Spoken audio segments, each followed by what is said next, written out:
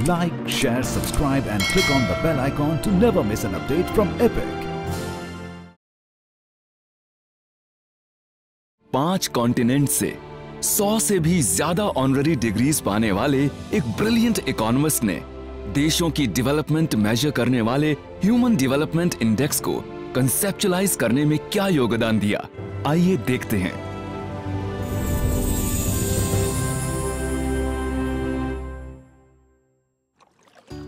अमर्त्य सेन जिनका काम उनके नाम की तरह ही अमर है।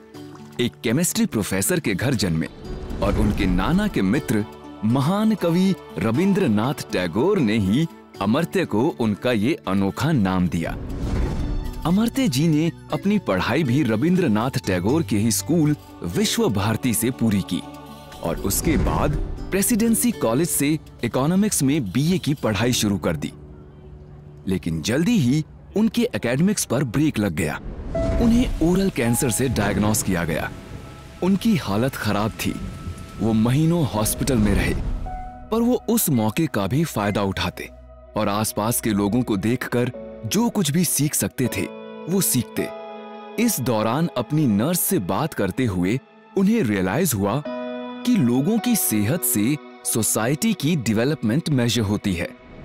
ठीक होने के बाद उन्होंने इस थियोरी को और एक्सप्लोर करना शुरू किया। 1943 में बंगाल में भयंकर सूखा पड़ा था, जिसमें लाखों लोगों ने अपनी जान गंवाई थी। अमर्त्य जी ने उसे अपनी रिसर्च का सब्जेक्ट बनाया और किलोमीटर किलोमीटर साइकिल चलाकर वो इस भुखमरी के बारे में डेटा इकट्ठा करने में जुट गए। सारे डेटा को स्टडी करने के बाद उन्होंने अपनी रिसर्च में ये पाया कि ज़्यादातर जान गंवाने वाले लोग समाज के निचले आर्थिक स्तर वाले थे। हालाँकि बंगाल की जीडीपी हाई थी, लेकिन समाज में एक इनकम गैप था। जिनके पास पैसे थे, वो सूखे को सरवाइव कर गए। लेकिन जो गरीब थे, उन्हें अपनी जान गंवानी पड़ी। इस बात ने अमर्त्य जी को जीडीपी से उठकर सोशल वेलफेयर का एक नया मापदंड यानी मेट्रिक सिस्टम डेवलप करने के लिए प्रेरित किया। ये नया सिस्टम था ह्यूमन डेवलपमेंट इंडेक्स यानी एच का।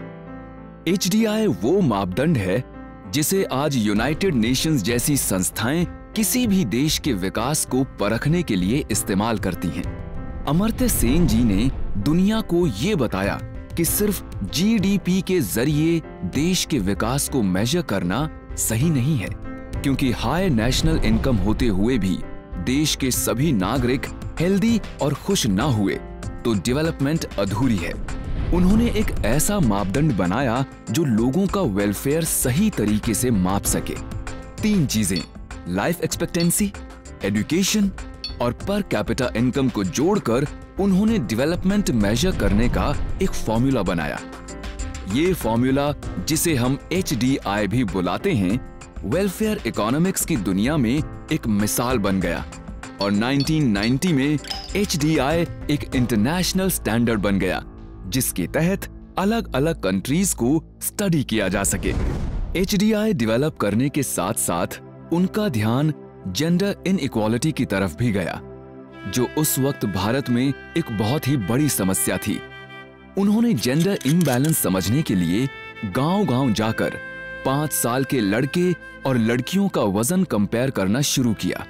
ऐसा करने पर उन्हें पता चला कि लड़कों के मुकाबले लड़कियों को अच्छी मेडिकल केयर न्यूट्रिशन और ट्रीटमेंट नहीं मिलती।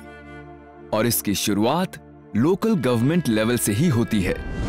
उनकी ये स्टडी इंडियन गवर्नमेंट के लिए एक आई ओपनर जैसी साबित हुई और गाँव में लड़कियों के लिए मेडिकल फैसिलिटीज़ बेहतर हुई। और लड़कियों से जुड़ी कई समस्याओं पर अब गवर्नमेंट का ध्यान जाना शुरू हो गया। अमर्त्य सेन को अपने काम की वजह से हार्वर्ड, कैम्ब्रिज और एम जैसी टॉप यूनिवर्सिटीज में आज भी लेक्चर्स देने के लिए बुलाया जाता है और उन्हें पाँच कॉन्टिनेंट से अलग अलग कॉलेजेस ने सौ से भी ज़्यादा ऑनररी डिग्रीज दी हैं। उनको 1998 में नोबल मेमोरियल प्राइज से नवाजा गया। लेकिन उन्होंने उसके साथ आने वाली धनराशि से प्रतीची फंड खोला, जो भारत और बांग्लादेश में शिक्षा, स्वास्थ्य और जेंडर इक्वालिटी जैसी समस्याओं से लड़ने का काम करती है।